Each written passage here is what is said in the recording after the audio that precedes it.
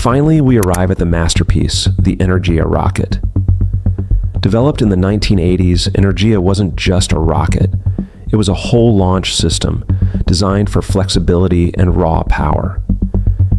At 58 meters tall and weighing about 2,400 tons at launch, Energia packed 34 million newtons of thrust.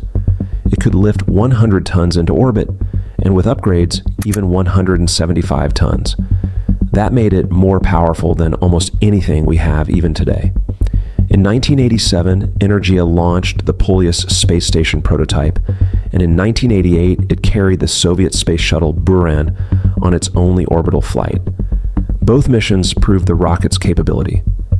Sadly, the fall of the Soviet Union ended Energia's future. But had it continued, it might have become the rocket that took humanity to Mars.